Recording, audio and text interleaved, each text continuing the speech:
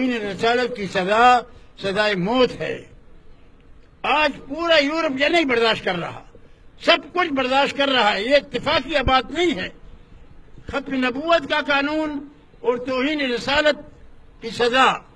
یہ مغرب کے حجم نہیں ہو رہا ہے۔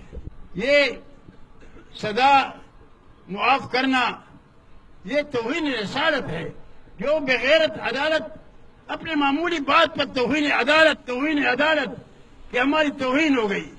اپنی توہین کا ان کو بڑا فکر ہوتا ہے۔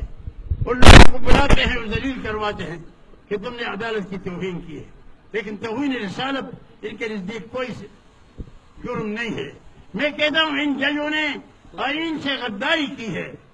آئین کی خلاف ورزی کی ہے۔ اور ان ججوں نے رسالت کی توہین کر کے آئین سے بغاوت کی ہے۔ میں سمجھتا ہوں کہ ان توہین رسالت کرنے والے ججوں کو نہ صرف یہ کہ معطل کیا جائے بلکہ وہ آئین کا جو دفعہ ہے توہین رسالت کا جس کی سزا قتل ہے وہ سزا ان ججوں پر نافذ کی جائے۔ نعرہ تکبیر نعرہ تکبیر ناموس رسالت قانون ناموس رسالت۔ جب تک ان ان ججوں کو توہین رسالت کی سزا نہ ہو یہ بدبخت انسان تھا۔ یہ نثار ثاقب اس نے بڑا نام کمایا تھا اور بڑے سخت اقدامات کر رہا تھا۔ بڑے بڑے ظالموں کے خلاف اور بڑے بڑے چوروں کو پکڑ رہا تھا۔ گزرا کو پکڑ رہا تھا۔ تو ہم نے کہا یہ تو اللہ نے گویا بڑا کوئی فرشتہ بھیجا ہے۔ لیکن وہ فرشتہ شیطان نکلا۔ وہ ابلیس کا بچہ نکلا۔ اس خبیص نے اپنے سارے نیکلامی پر پانی ڈلوایا اور اس نے اپنے سب کچھ نیکلامی کو بہا کر لے گیا۔ تو یہ صورتحال میں نے آپ نے شاید شاہ صاحب سے سنا۔ میں نواز، میں عمران خان سے پچھلے دنوں ملا۔ تو پہلی ملاقات میں، پہلی بات ایجنڈے پر میں نے یہی رکھی تھی کہ بات چل رہی ہے آسیہ کو چھوڑنے کی۔ تو آسیہ کے چھوڑنے کا مسئلہ کیا ہے؟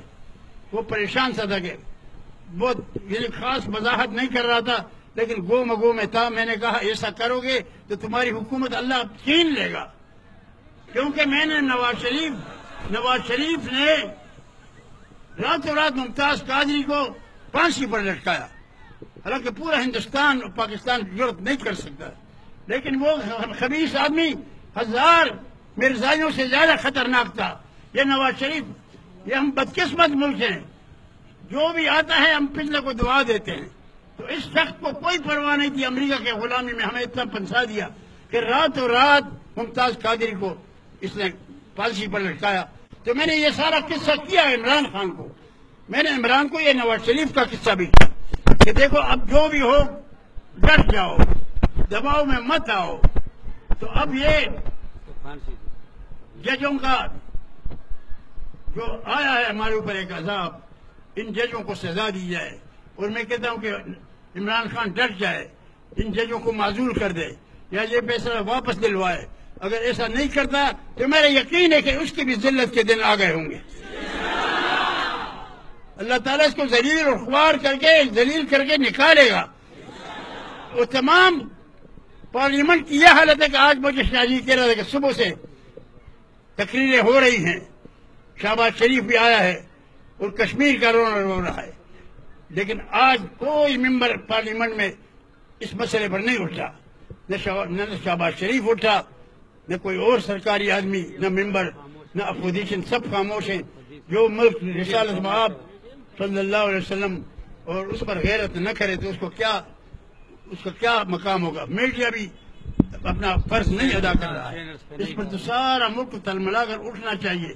یہ ناموس رسول اور اس کے رسول کے لڑنا، انشاءاللہ یہ دیوبندیوں کی حمیت ہے۔ اس میں علماء دیوبند سب سے آگے ہوں گے۔ ہمیشہ ہوگی اور ہم اس تحریک کو آخر تک پہنچائیں گے۔ اور جب تک گویا ظالموں کو ان ججوں کو سزا نہ دی جائے تو اس وقت تک ہم آرام سے نہیں بیٹھیں گے۔